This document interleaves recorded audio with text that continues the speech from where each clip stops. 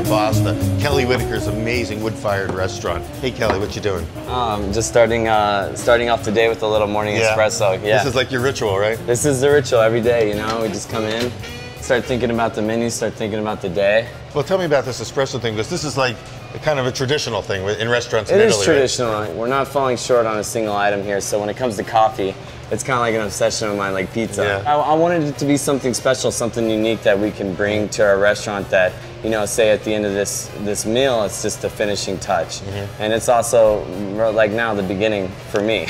While this is dripping through, look, you know, we, we got to work together this weekend at the Yeah. Fire Within Yeah. conference, which is kind of cool. A whole wood-fired Yeah. cooking event with people from all over the country who have mobile wood-fired ovens. You do all your cooking wood-fire here. Yeah, we have a single induction burner here that we use to make cheese, but besides that, it's all about the wood fire at our place. Pretty much all of our food touches the fire in some sort of way. But you're making your own cheese here too? Uh, yeah, we, we hand stretch the mozzarella. We buy a good domestic curd, you know, so we're not Yeah. just making it from the very beginning. As far as the other food, we try to do everything we can here. You know, we make the sausages, we uh, we cure the pork bellies to make the pancetta, and so and, and all of that's coming from that getting those good local domestic sources for, Yeah. for pork.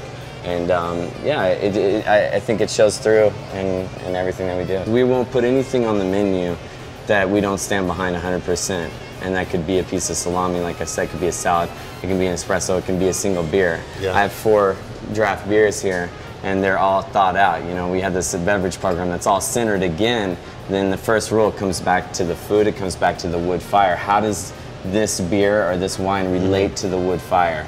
And then that, after that, we say, oh, can we can we source this domestically? Is our second thing for our beverage program, Right. you know?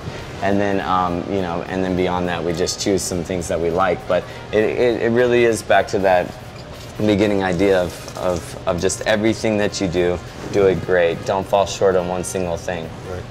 Every part of the menu, every ingredient, every uh, concept that they're working with is well thought out and comes from some kind of a vision. And I want to sit down with Kelly and find out what that vision is.